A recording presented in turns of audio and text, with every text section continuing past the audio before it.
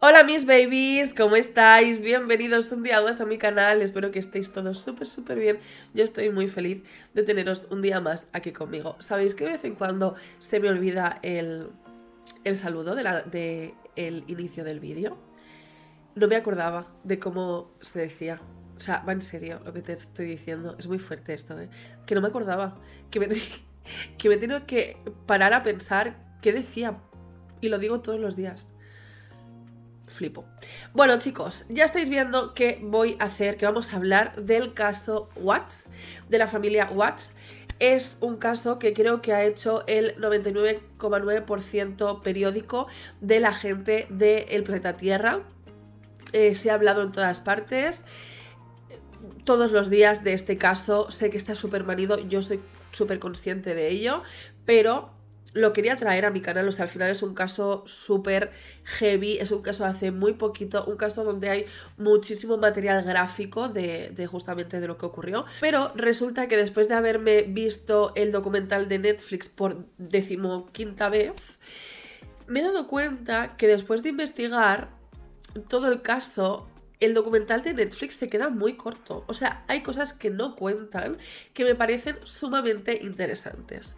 Eso por una parte, pero es que por otra parte te tengo que contar que este caso, que yo no lo sabía, tiene algunas teorías de la conspiración muy interesantes que no, o sea, que no chocan con la persona que está cumpliendo condena por este caso, ¿eh? O sea, eso para nada, pero sí que deja abierta algunas puertas referente a si tuvo algún tipo de ayuda o alguna cabeza pensante más en este caso. Antes de comenzar, decirte que sigo estando completamente taponada, tengo mocos, eh, sinusitis crónica, entro en el chat. Así que I'm sorry, chicos. Sí, me tomo medicación, sí, pues hago todas las cosas que los médicos me dicen, pero de vez en cuando suceden estas cosas, no lo puedo evitar y estoy una temporada un poco taponada, pero hasta que se me pase, o sea, y por otro lado, decirte que si te gusta mi contenido, si te has encontrado con este vídeo por casualidad y te gusta lo que te cuento, pues eh, te puedes suscribir a este canal, darme un like, darle la campanita, compartirlo y todas esas cosas.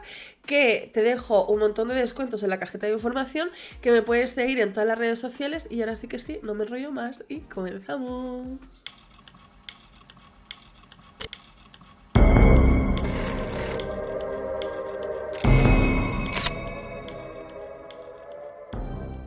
Bien chicos, no me voy a centrar demasiado en los inicios de los protagonistas, en este caso de Chris y de Shannon cuando eran solteros, porque seguramente si has visto los documentales y todo esto ya lo sabes. En el caso de Shannon, eh, cuando era soltera, ella eh, desde siempre fue una mujer súper trabajadora, con 25 años ya se había construido su propia casa, empezó a trabajar muy joven y además estuvo casada, tuvo una relación anterior, pero pues eh, se le rompió el amor, no se soportaban más y decidieron eh, disolver ese, ese matrimonio donde Shannon lo pasó realmente mal y poco tiempo después le diagnosticaron lupus, una enfermedad autoinmune y crónica que básicamente lo que sientes es que estás todo el día muy cansado, es como una gripe todos los días hasta que no dan con un poco de medicación. Em, los síntomas son como dolores musculares, eh, cansancio, fatiga, náuseas, heridas en la boca. O sea, imagínate estar así. La verdad es que te tiene que avinagrar el carácter. O sea, tiene que ser terrible. Esto hizo que en el caso de Shannon se apartara mucho de sus amigos, se quedara completamente sola y que además ella era una tía súper activa y lo pasó realmente mal. Además que cuando tienes eh, lupus es bastante difícil quedarte embarazada, entonces a ella le afectó bastante porque quería ser madre. Aunque no será la primera vez que escucho que una mujer con ovario poliquístico, por ejemplo, no se puede quedar embarazada. Y conozco a muchos, muchos bebés de mamás de ovarios poliquísticos. Así que bueno, eso, en fin, ya sabemos lo que es. En el caso de Christopher Watts, él era un hombre muy trabajador, un hombre que le definen como un hombre muy muy inteligente, que siempre estaba al pie del cañón, pero que tampoco tenía como demasiadas ganas de encontrar una novia, al menos no se le conocieron a muchas novias muy importantes, realmente la más importante y la que acabaría siendo su mujer fue Shannon. La cosa es que ellos se conocieron a través de Facebook. Shannon, eh, Caitlin Susek lo estaba pasando realmente mal por todo lo que os acabo de contar pero recibió un buen día pues una solicitud de amistad por Facebook donde ella pues la declinó porque es en plan chicos no tengo ganas de nada, no tengo ganas de conocer a ningún tío, aunque tenían amigos en común. Pero finalmente Chris le pareció pues una chica muy interesante, le volvió a enviar una solicitud de, de amistad y ella aceptó, no, sabemos si por pesado o porque le pillaba con la, con la guardia baja, pero ojalá no lo hubiera hecho, pero bueno, pues sí, lo hizo. Entonces empezaron a hablar y se dieron cuenta que aparte de tener pues eh, muchas cosas en común, porque los dos nacieron o se criaron en Carolina del Norte, en el caso de Shannon, ella nació el 10 de enero de 1984 en Everdeen, en el caso de Christopher Lee Watts, él nació el 16 de mayo de 1984 85, siendo un año más, pequeña, más pequeño que ella. Él nació en Oklahoma, pero se crió en Fayetteville, que también estaba en Carolina del Norte. Por eso probablemente tenían amigos en común. La cosa es que los dos se gustaron muchísimo. Además, en el caso de Shannon, ella no se lo puso nada fácil a, a Chris. Le dejó claro desde el principio que tenía una enfermedad, una enfermedad muy grave. Le intentó apartar varias veces de su lado, como diciendo, tío, que yo ahora mismo soy una carga para ti, pero él seguía y siguió siguió y siguió y siguió hasta que pues eh, acabaron los dos completamente enamorados, se gustaron muchísimo y se acabaron casando el 3 de noviembre de 2012. Ella iba con un vestido de princesa total, blanco, con pedrería por la parte de arriba, eh, en plan cupcake la parte de abajo, con su velo, su tiara, y él iba vestido con un chaleco azul, con el, la corbata a juego, bueno, la típica boda, como te puedes imaginar, el bodorrio. En esta boda incluso el padre de Shannon tomó el micrófono en un momento y llegó a decir que no hubiera podido soñar con un yerno mejor. Chris ha hecho que su hija volviera a sonreír. Y pues todos los invitados se pusieron a llorar y a aplaudir y Chris, Chris, Chris, eres el mejor. Aunque hay un detalle muy importante y es que a esta boda no fueron los padres de Chris, no fueron los padres de Chris Watts porque no soportaban o no les gustaba en este caso a Shannon. Porque Shannon sí que es verdad que desde el primer momento se dice y se subraya mucho en el documental de Netflix que es una mujer que tiene muchísimo carácter, una mujer que incluso se llega a decir que es incluso mandona, pero sin querer adelantarme demasiado, esto de que tenga un carácter fuerte, que sea incluso mandona o que a veces se pase siendo borde, no justifica ni un 0,1% lo que le sucedió a ella y a sus hijas. Y esto no lo digo por vosotros porque yo creo que, bueno, aquí entiendo que tenemos sentido común, pero de verdad que si os metéis a foros hablando de este caso, vais a flipar lo que se dice de Shannon. O sea, es que vais a flipar. O sea, la gente le echa la culpa a ella es que es muy fuerte. Bueno, yo sigo con la historia. La cosa es que ellos estaban antes de casarse buscando un sitio pues donde hacerse construirse una casa y vieron la zona de Frederick que está al norte de Denver en Colorado y les encantó. Allí se compraron una casa con su hipoteca correspondiente de nada más y nada menos que 400 mil dólares. 400 mil dólares. O sea, no llega al medio millón, pero casi, casi medio millón de dólares. ¡Oh, wow! La casa, una casa soñada de 395 metros cuadrados, o sea, una señora casa con dos plantas con ventanales a doble altura, con jardín, con cinco grandes dormitorios, un vestidor para Shannon. Además, tenía cuatro cuartos de, baño, eh, un playroom, o sea, una sala de juego y un amplio garaje. Poco tiempo después de la boda, en 2013, nacería la primera hija del matrimonio, o sea que a pesar de la enfermedad que tenía eh, Shannon, sí que se pudo quedar embarazada, y nació la pequeña Bella Marie Watts. Y dos años más tarde, el mismo día 17, o sea, las dos nacieron un día 17, nacería Sissy o Celeste, Caitlin Watts. Ya te puedes imaginar la estampa de la familia guapa americana perfecta, o sea, es que eran de libro. Y tú quizás te estés preguntando, pero a ver Marta, ¿cómo podían mantener una casa tan grande, unas niñas, cómo lo hacían todo? Bueno, vamos a hablar de sus trabajos. En el caso de Chris, él nada más llegar, en este caso a Denver, comenzó a trabajar en una compañía petrolera llamada a Darko y en el caso de Shannon se desempeñaba como vendedora independiente en la empresa Level. Le barra Bell. Vale.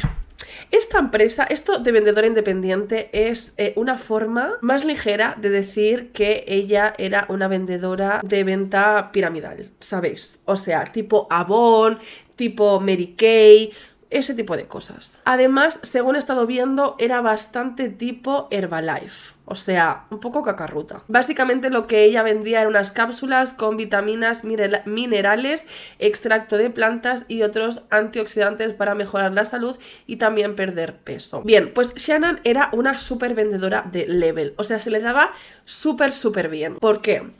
Porque mostraba toda su vida y cuando digo toda su vida, es toda su vida en Facebook. Resulta que en Estados Unidos no se usa tanto eh, Instagram, se usa más Facebook y Snapchat. Casi siempre. Entonces, ella lo que hacía era pues como las mami bloggers de día de hoy, o sea, las instamamis, eh, que van enseñando pues eh, su día a día. Ella lo hacía en parte por todos los seguidores y porque ella iba metiendo cada dos por tres la rutina que tenía de tomarse esas cápsulas. En plan, hola, buenos días a todas, ¿cómo estáis? ¿Cómo os habéis amanecido? Pues yo estoy aquí con mi café y me voy a tomar mis eh, cápsulas level de la mañana porque, mmm, qué bien me hace sentir y me da muchísima energía. Y es en parte por esta razón por la que tenemos tanto material gráfico de esta familia. Un dato que omite 100% Netflix de este caso es que en 2015, cuando nació Sisi, la segunda hija del matrimonio, Resulta que esta pareja cayó en quiebra. Se declararon en quiebra porque habían comprado una casa de medio millón, de un poco menos de medio millón de dólares. A pesar de que económicamente pues no iban del todo bien, Sharon igualmente enseñaba una vida idílica, una vida llena de viajes, donde iban cada dos por tres a Carolina del Norte a estar con su familia, a hacer viajes a la playa, para arriba y para abajo.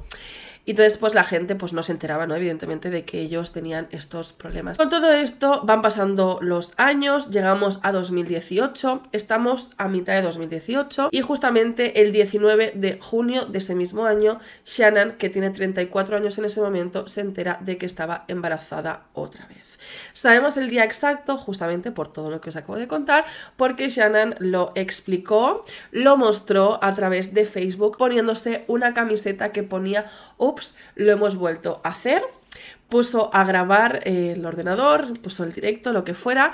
Llegó en ese momento Chris, su marido, vio la camiseta y dijo, ups, lo hemos vuelto a hacer, con una cara de wow, eh, qué fuerte, y dijo algo así como, ya te queremos pequeño cacahuete. Eh, la cosa es que ya llevaba unos cuantos meses Chris un poco alejado eh, o no tan cariñoso con su mujer.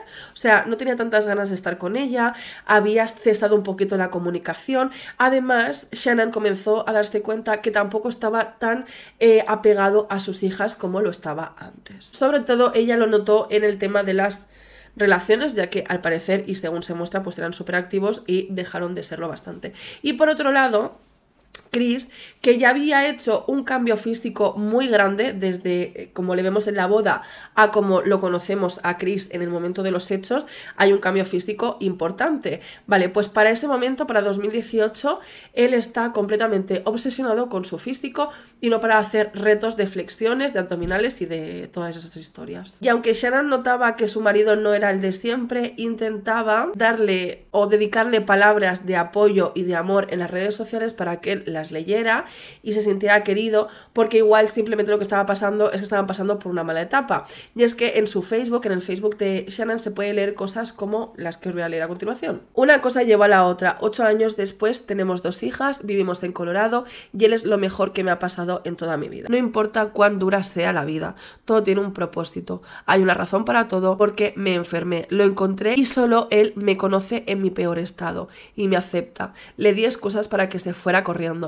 fue a mi colonoscopia. Le empujé fuera de mi vida una y otra vez. Él es asombroso. No puedo decirles cuán maravilloso es. No hay hombre mejor que él. Como Chris estaba bastante raro, lo que decidió hacer Shannon era marcharse a Carolina del Norte, cosa que ya iban a hacer, pero marcharse seis semanas y la última iría a visitarles, eh, en este caso Chris, porque él estaría trabajando en la petrolera, no tenía tantas vacaciones. A Shannon le daba un poco de cosas separarse tantos días de él, de su marido, pero sentía que de alguna forma necesitaba darle su espacio también. Sin embargo, en estas vacaciones ocurrieron dos cosas que hicieron que todavía la relación fuera bastante peor. Y es que, como os he comentado al principio, a la boda de esta pareja no fueron los padres de Chris, porque no soportaban en este caso a Shannon. Bien, pues estando en Carolina del Norte estaban los padres de Shannon y los padres de Chris. Un día que Shannon fue a llevar a sus hijas a pues los padres de Chris para que también estuvieran con ellas, resulta que la abuela le dio a Sisi un helado que en, ella no podía comer, porque resulta que Sisi tenía muchas alergias y muchas intolerancias. Ella, en el caso de Shannon, era súper consciente de ello y hacía algo de apología, ¿no? De eso en redes sociales, mmm, diciendo o mostrando lo difícil que puede ser, pues que una de tus hijas tenga esas intolerancias porque tienes que ir con muchos ojos y bla, bla, bla. Shannon se enfada muchísimo porque dice, Jolín, es que va, está en juego la salud de mi hija, o sea, no le des estos helados. Entonces Shannon se enfada muchísimo y la madre de Chris echa de casa a Shannon y a Sissy y a las niñas. O sea, es fuerte esto, ¿eh? Esto hizo que unos días más tarde, cuando Sissy cumplió tres años, el 17 de julio, los abuelos paternos no fueran a su cumpleaños, cuando la niña no tiene ninguna culpa de esto. Claro, de todo esto se enteró Chris que estaba en su casa, en Colorado. Y claro, yo entiendo que a él le dolía a su familia también, ¿no? Pero es en plan, wow. O sea, lo que está pasando es muy heavy. Tus padres no han ido al cumpleaños de tu hija, pudiendo ir porque están en Carolina del Norte. Es heavy esto. Shannon, por lo tanto, se enfadó muchísimo y le envió varios mensajes a Chris diciéndole no entiendo por qué no estás haciendo nada, no entiendo por qué no estás hablando con tu familia y Chris optó por no contestar. La noche del 5 de agosto de 2018, Shannon volvió a enviar otro mensaje, otro parrafote bastante grande. Le dijo, extraño abrazarte, extraño comer contigo, ver la televisión contigo, extraño mirarte a los ojos, extraño hacer el delicioso. No puedo esperar a celebrar nuestros ocho años juntos. Si para ti esto está terminado, si no me amas, si no quieres trabajar en esto, si no eres feliz y solo te quedas por las chicas, necesito que me lo digas. Y es que este mensaje me parece súper honesto, porque ella está siendo súper honesta, o sea, ella está diciendo, tío, te quiero, yo quiero estar contigo, pero si tú no quieres, dímelo, no me tengas en este sin vivir. Y es que en este caso Chris le tenía así. O sea, no le contestaba, no le decía nada, simplemente pasaba. Y ella se iba dando cuenta poco a poco que las cosas estaban mal. Como por ejemplo, un día que Shannon ya se le calentó el morro y dijo, mira, te estás pasando porque está bien que no me escribas a mí, que no me digas te quiero, me parece bien, eso ya lo solucionaremos o no, pero tienes dos hijas compórtate como un padre. Y esto sale también en el documental de Netflix que dice, olvídate de no atender mis, mis, llamadas, pero podrías llamar a tus hijas cuando te despiertes. No las has llamado ni una vez desde que vinimos aquí. O sea, eso es fuerte. Y además en el documental se ve perfectamente cómo Shannon comienza a tener la sospecha de que hay una tercera persona. ¿Por qué? Eh, por muchas cosas, ¿no? Porque la relación está fría y al final cuando pasan estas cosas tú piensas que puede haber una tercera persona, pero en este caso es que era bastante evidente. ¿Por qué? Resulta que Chris Watts tenía unos tickets restaurant que le daban en el trabajo para comer y es lo que él utilizaba para irse a cualquier sitio a cenar. Pero resulta que esa tarjeta o ticket restaurant se le había acabado. Entonces lo que hizo fue utilizar su tarjeta propia que la tenía en común con su mujer, con Shannon, para ir a comer. Y resulta que fue a comer y se gastó 60 dólares. Entonces hay que tener en cuenta que ellos económicamente no iban muy bien. Entonces Shannon ve el extracto y es en plan, ¿cómo te has gastado tú solo 60 dólares en ir a cenar? Y le llama, llama a Chris. El Chris le explica, pues mira, he ido a X restaurante, me he pedido esto y pues ha subido un poco más del precio, perdona, no lo volveré a hacer. Y Shannon, que ojo de loca, no se equivoca, va y se mete a ese mm, restaurante y busca la carta busca la carta y busca lo que le ha dicho Chris que ha pedido y se da cuenta que las dos cosas suman como 30 o 35 dólares. ¿Cómo puede ser que te hayas gastado 60? O sea, hay dos menús en este caso. Entonces le vuelve a llamar y le dice, no, no, me estás mintiendo, te has gastado dos menús, has invitado a alguien a cenar.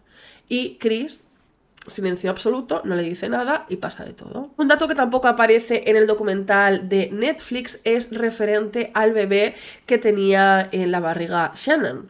Resulta que ella tenía pensado cuando regresara de estas vacaciones de Carolina del Norte hacer la baby shower. Ella estaba de 15 semanas y ya sabía el sexo del bebé, iba a ser un niño y tenían pensado llamarlo Nico Lee.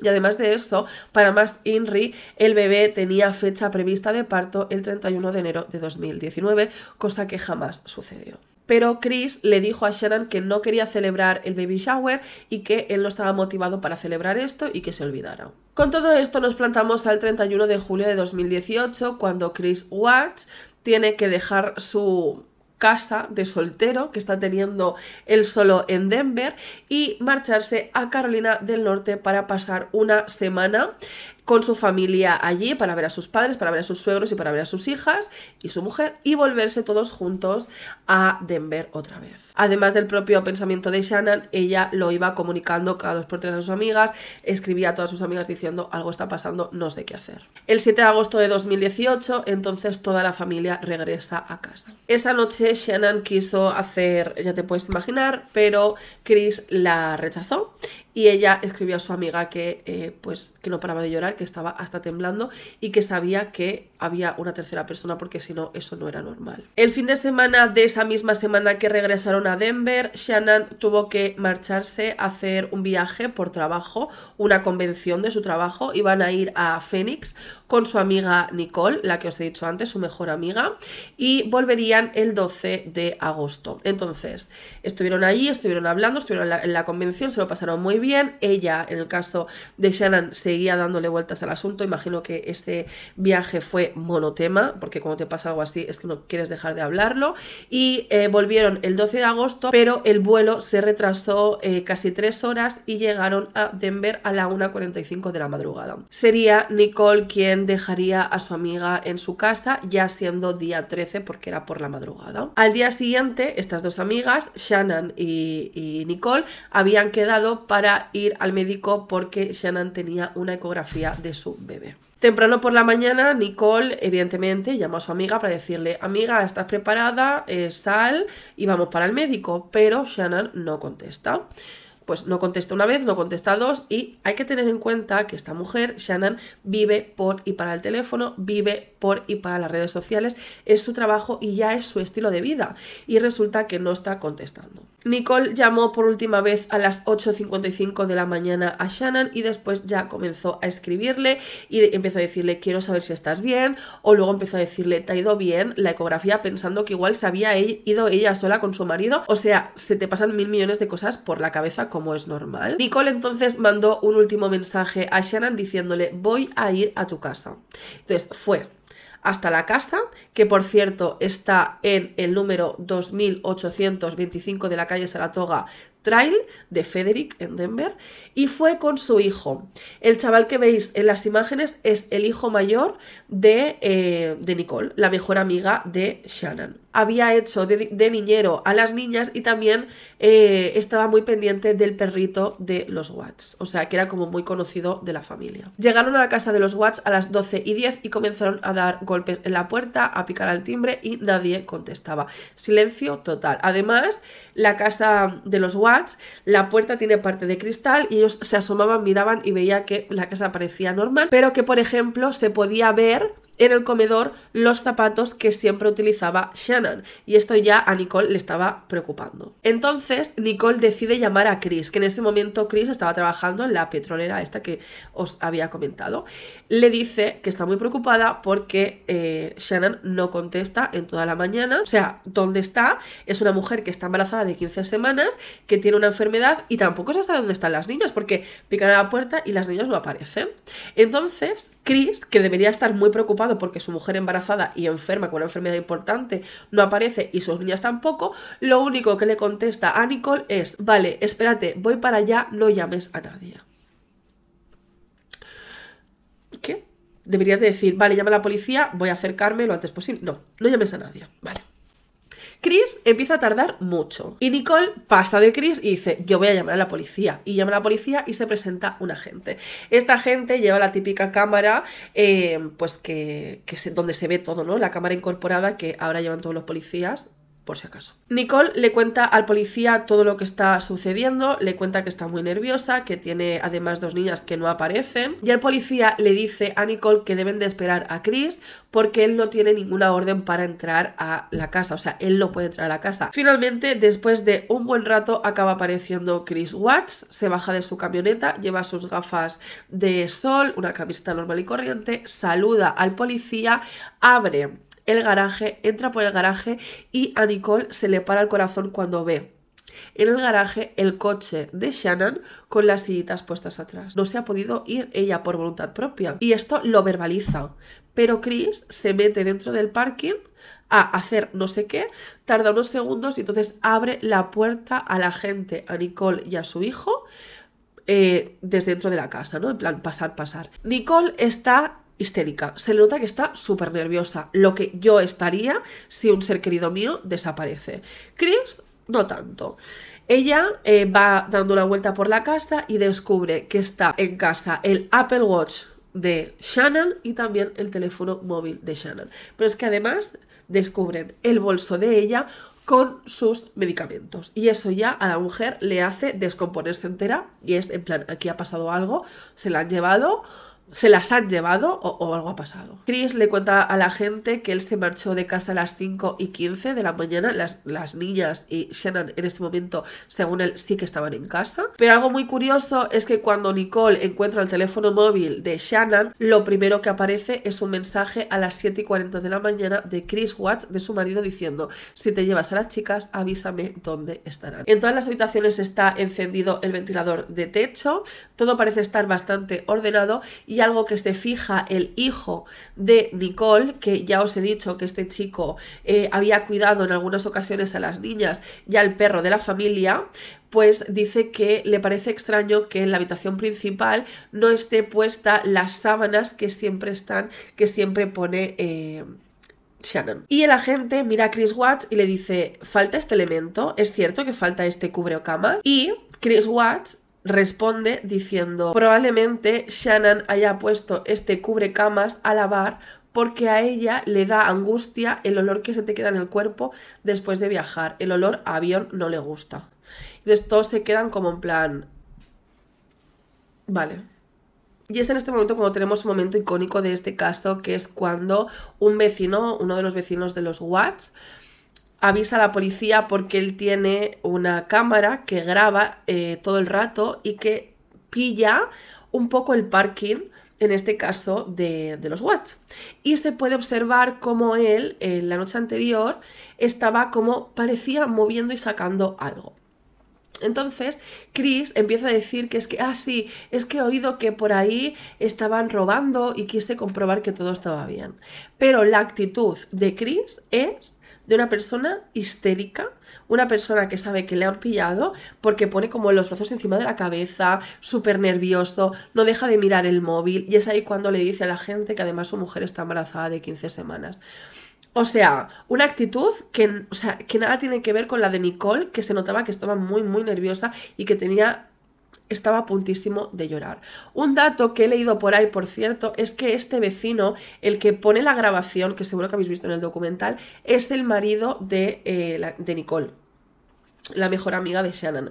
No lo sé, yo lo dejo ahí, igual sí, igual no, pero bueno, yo lo he leído. Chris entonces va saliendo por la puerta, el policía va a salir mm, también, Chris se queda como en plan, ¿no, ¿salimos de la casa o no? Pero ah, el policía dice, ve saliendo tú, que yo voy a tomar nota a el vecino, a tu vecino. Entonces aprovecha el vecino para decirle, yo creo que este hombre está ocultando algo, está muy raro. Chris Watch es una persona muy tranquila y está realmente nervioso, no para de moverse, yo creo que algo oculta. El día siguiente, el día 14 de agosto, los agentes van con los perros y bueno, y pues con un equipo eh, para buscar a ver si encuentran algo y además ese día ya se habría hecho eco las eh, noticias y ese día es el que hacen una rueda de prensa donde él dice que ojalá vuelvan, que si alguien tiene retenido a Shannon y a las niñas que por favor que las libere, que no puede vivir sin ellas y todo eso. Os leo textualmente lo que dijo porque me parece bastante significativo. Shannon, Bella, Celeste, por favor vuelvan.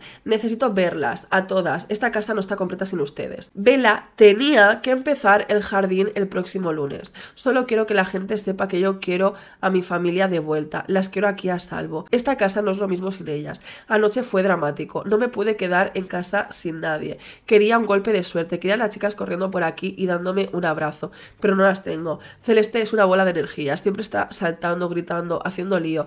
Vela es más calma, más cauta, más paciente, más parecida a mí. Soy calmo. Celeste es definitivamente parecida a su madre. Me parece muy heavy y me llama poderosamente la atención lo de que Vela tenía que empezar el jardín el próximo lunes.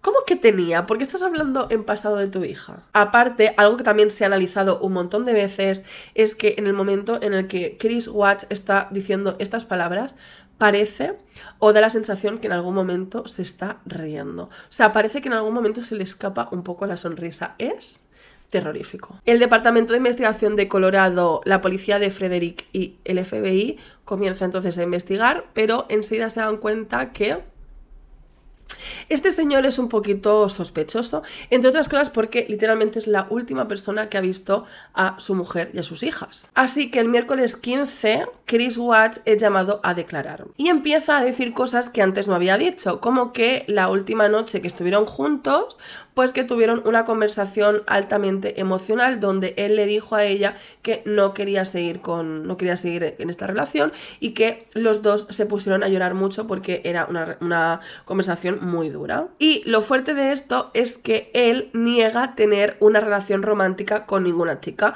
niega tener ningún amante. Poco después se le somete a Chris Watts al polígrafo y, oh sorpresa, no lo supera. O sea, no es que no lo supere, es que falla muchísimo. Si es verdad que el polígrafo es er, una herramienta que se utiliza que no es eh, fiable y que no se puede basar, o sea, sí que es fiable, pero que no se puede basar toda una investigación en el polígrafo, pero es que ha dado como menos tres, ¿sabes? O sea, que lo ha fallado todo, todísimo. Y sería aprovechando que había fallado muchísimo en el polígrafo que la investigadora a cargo de este caso empieza a decirle a Chris, basta de mentir, respira a fondo y cuenta lo que ha sucedido. Entonces comienza un poco un juego psicológico a decirle, fue ella, ¿Fue Shannon la que hizo algo? Cuéntanoslo. ¿Te enfadaste? ¿Fue como una vendetta?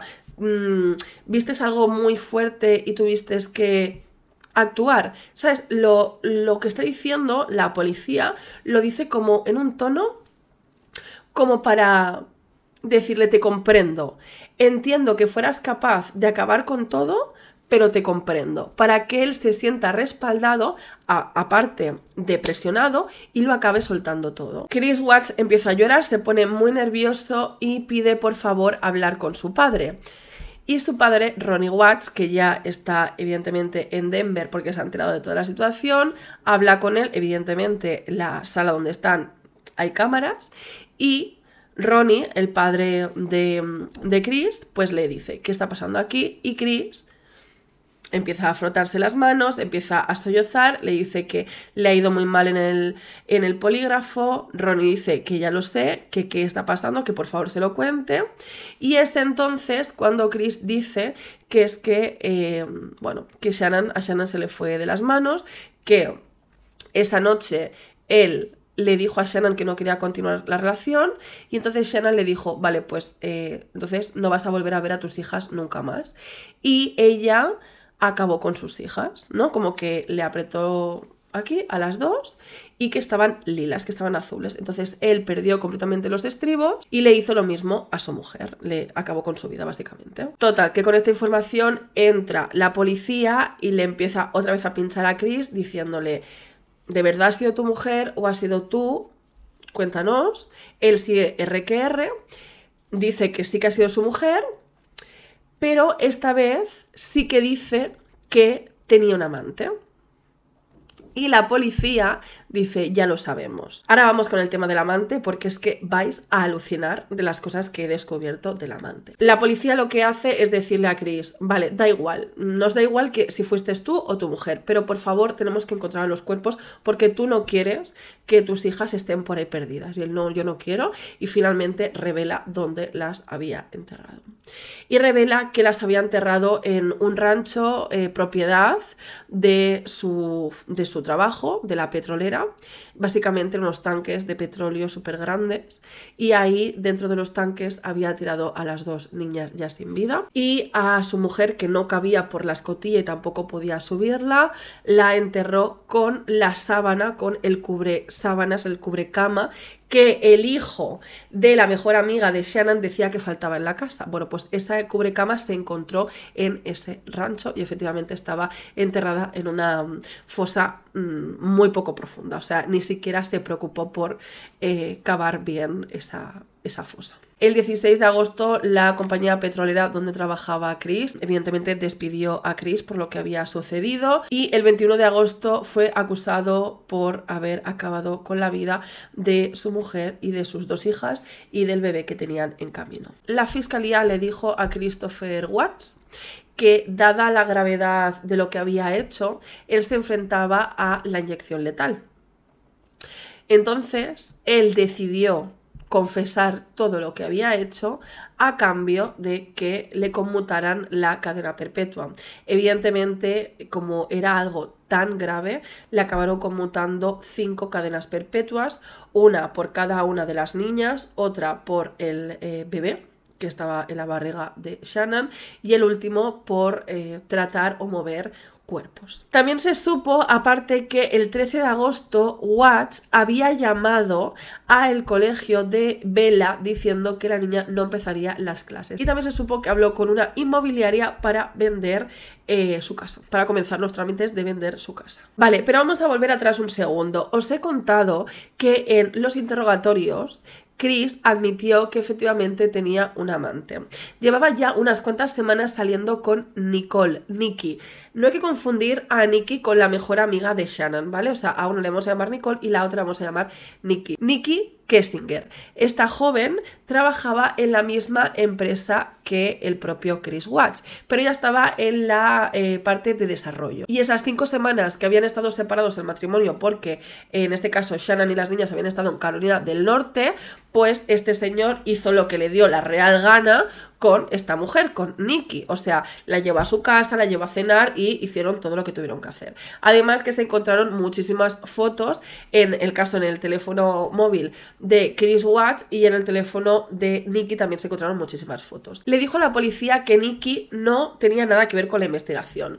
Nikki, por su parte, le contó a la policía que Watts, Chris Watts, le había contado a ella que estaba a punto de divorciarse y que tenía dos hijas. No le había contado nada sobre que su mujer estaba embarazada de 15 semanas.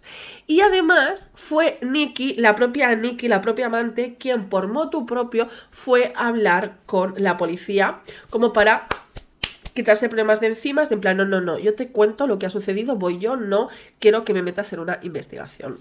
Además, Nikki le dijo a la policía que ella en un arrebato de enfado cuando se enteró por la televisión que su mujer estaba embarazada de 15 semanas y obviamente entendió que Chris le había, le había mentido todo este tiempo, decidió borrar un montón de fotos que tenía con él. O sea, la policía había perdido ya un montón de información, pero como ella no estaba imputada o no estaba siendo una persona de interés en el caso más de que lo relevante, pues no le pudieron investigar más de la cuenta.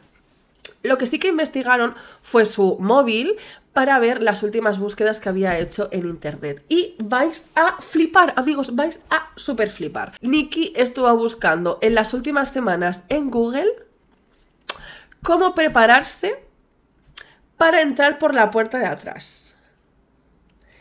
Estoy hablando de hacer el delicioso.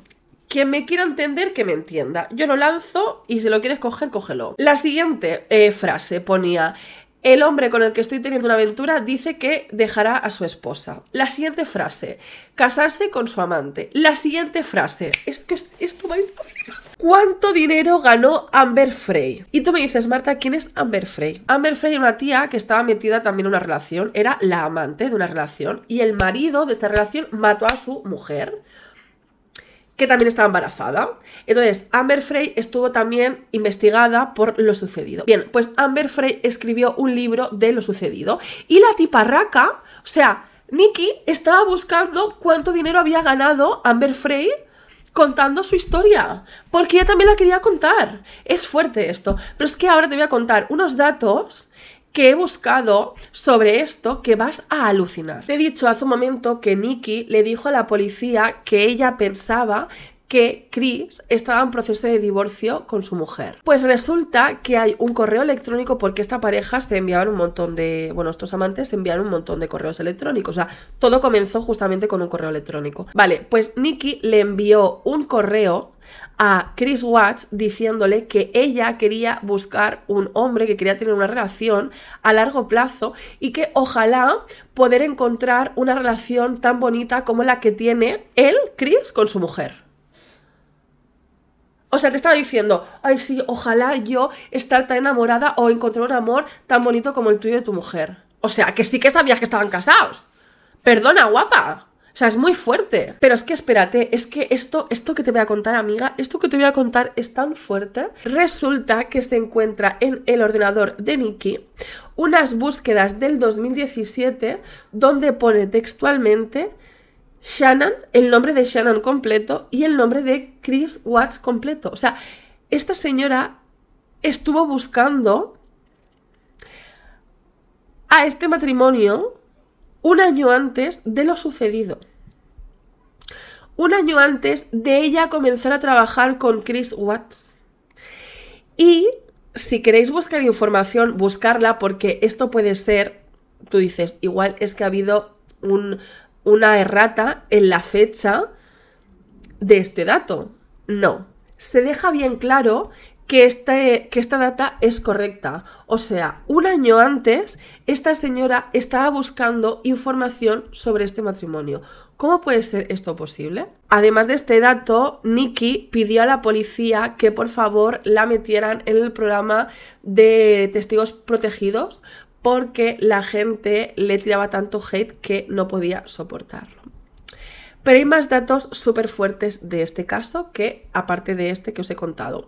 Resulta que hay en una ocasión cuando Chris y Nikki están viviendo su amor de solteros, porque Shannon está en Carolina del Norte, ellos hacen lo que quieren, pues se van a la montaña a pasar un día. Y hay fotos de ellos dos en la montaña. Vale, bien, pues ha encontrado en el teléfono móvil de Nicole una foto que probaría que a esa excursión fue una tercera persona que no se sabe quién es.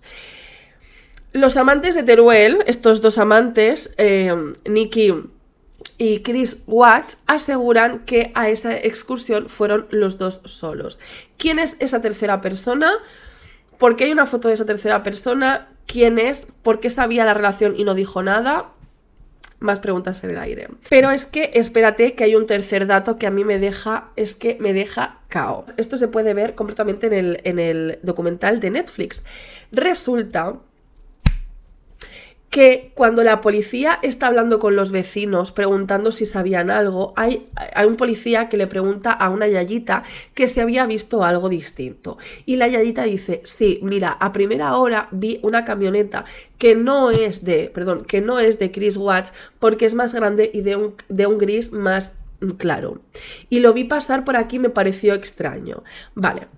Claro, esta señora dice, vale, este coche no es de Chris Watts y tú puedes pensar, este dato de que me sirve si no es de Chris Watts, que es el investigado en todo este caso.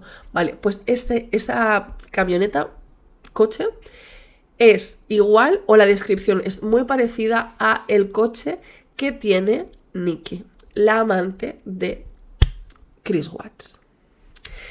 Esto es muy fuerte, o sea, esto es muy fuerte, pero esto no se puede investigar porque, como yo te he contado hace un momento, Chris Watts llegó a un acuerdo con la fiscalía para no ser condenado a la inyección letal, entonces fue condenado a cinco cadenas perpetuas. O sea, realmente no se ha hecho un juicio de este caso. Está cerrado, pero no se ha hecho un juicio. Mm, se han puesto y se han, eh, o sea, mejor dicho, se han puesto sobre la mesa un montón de datos sobre este caso,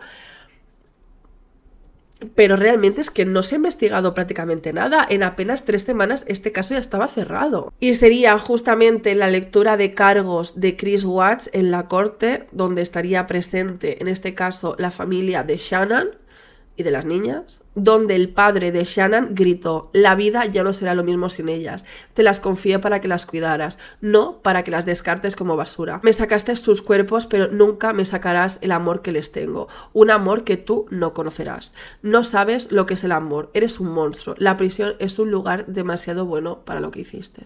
Sin embargo, la familia de Chris Watts le defendió a full, siempre creyeron la versión que dio él diciendo que lo primero que pasó fue que Shannon le quitó la vida a las niñas y que él entonces respondió volviéndose loco y le hizo lo mismo a su mujer.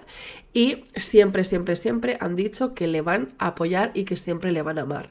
Pero es que es tan fuerte, o sea, es en plan, estás diciendo que siempre le vas a amar a la persona, a la persona que quitó de medio también a tus nietas. O sea, que también les ha quitado la vida a personas de tu familia. Pero yo creo que esta familia la, familia Watts, o sea, los padres y tal, yo creo que no andaban muy bien. Este caso podía haber terminado aquí, pero no. El 7 de marzo de 2019 la policía em, dio una nueva versión que había dado Chris Watts, una versión de 5 horas que estuvo él relatando, diciendo que la noche de los hechos él hizo el delicioso con su mujer, porque él, o sea, habla súper despectivamente de su mujer, diciendo que se le acercó y se le roceteó, o sea, es heavy, pero que después empiezan a discutir y que ella le dice que no volvería a ver a sus hijas, entonces él se le pira la olla y la ya sabéis, ¿no? Y que después Bella entra en el dormitorio escuchando los gritos y le pregunta qué le pasa a mamá y él dice está enferma. Bella observa como Chris envuelve el cuerpo de su mujer ya sin vida en la sobrecama o sobre sábana, como le quieras llamar, a, su, a, su, mujer, o sea, la envuelve y la tira a patadas por las escaleras. Y la niña no para de llorar, o sea, es heavy esto, ¿eh? Después monta a sus dos hijas en el coche con el cuerpo de la madre dentro, la lleva hasta el sitio donde está el tanque de, de petróleo y sería ahí donde primero comenzaría con Sisi. Después le tocaría el turno a Vela y Vela diría, papi, no, no me hagas lo mismo que a Sisi. Después de eso, como ya os he contado antes, metería a las niñas en el tanque. Ya la madre, como no podía subir a 6 metros, la enterró. Lo último que te tengo que contar, si mi garganta me lo permite, porque ya está un poco diciendo ayuto, es que según la autopsia se piensa que quizás Chris estaba sentado encima de encima de, Shannon cuando le empezó a apretar aquí porque ella no tenía ninguna herida defensiva. Y hay gente que dice que ella se dejó hacer, pero es raro porque al menos tu cuerpo te pide intentar sacarte esto. O sea, e-, es, algo de tu propio sistema parasimpático. ¿sabes? Es, tú misma intentas zafarte, básicamente. Estuvo entre 4 y 5 minutos entre de, de, cada una de ellas. O sea, apretando entre 3 y 4 minutos y son muchos minutos. O sea, parece que no, pero es algo muy cruel.